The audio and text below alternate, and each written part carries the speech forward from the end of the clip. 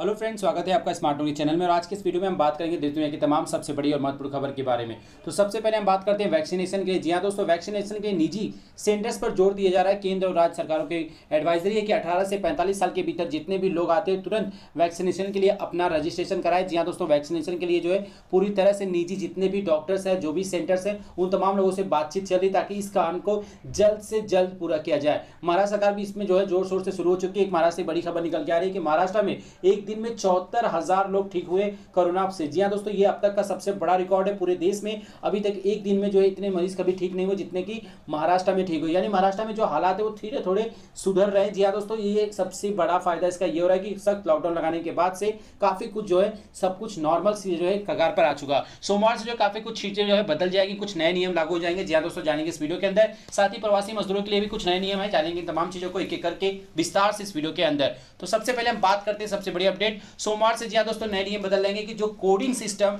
महाराष्ट्र सरकार ने लागू किया था गाड़ियों के लिए, यानी कि जो फ़ूड सेक्टर के लोग हैं, जो इसानशियल सर्विस से जुड़े लोग हैं, जो मेडिकल्स में काम करते हैं तमाम लोगों के लिए तीन कलर कोड निर्धारित किए गए थे रेड ग्रीन और येलो अब जो इसे कोड को जो है, ज़्यादा मैंडेटरी नहीं किया गया, यानी कि अब इसे अगर आप नहीं लगाए तो भी चल जाएगा। जी हाँ दोस्तों, इस नियम को अब जो है हटा दिया गया है। तो यानी अब आप सबके लिए जो है थोड़ा राहत की खबर आ रही है। जी हाँ दोस्तों, अब सड़कों पर निकलने के लिए आपको कोई स्टिकर्स की ज़रूरत आपको नहीं पड़ेगी। लेकिन जी हाँ दोस्तों, इसका मतलब ये नहीं कि पुलिस आपकी गाड़ी चेकिंग नहीं करेगी। गाड़ियों को चेक करके ही छोड़ा जाएगा। यानी कि अगर आप जो घर से निकलते हैं तो आप जो है आसान से सर्विस से जुड़े लोग ही होंगे, तभी आपको जो है अनुमति मिलेगी। अब बात करते हैं प्रवासी मजदूरों के बारे में। प्रवासी मजदूरों के लिए ट्रेनों की संख्या में एक बार फिर से इजाफा किया गया। देश भर में तमाम जगहों से जो है पलायन शुरू हो चुका है। महाराष्ट्र में अगर देखा जाए तो सबसे ज़्यादा पलायन महाराष्ट्र मुंबई से हो रहा है, क्योंकि महाराष्ट्र और मुंबई में जो है सबसे ज़्यादा लोग जो है यहाँ पर आकर रहते हैं अपना रोजी रोटी के लिए। बात करते हैं कल्याण स्टेशन की। ज़्यादा दोस्तों, मुंबई के कल्याण स्टेशन में एक बार फिर से जो है हज़ारों की संख्या में भीड़ देखने को मिली। लगातार पलायन कर रहे मजदूरों को जो है एक बार फिर से राहत की खबर आ रही है कि उनके लिए स्पेशल ट्रेनों की जो व्यवस्था है उसे और बढ़ाई जा रही है, क्योंकि एक तो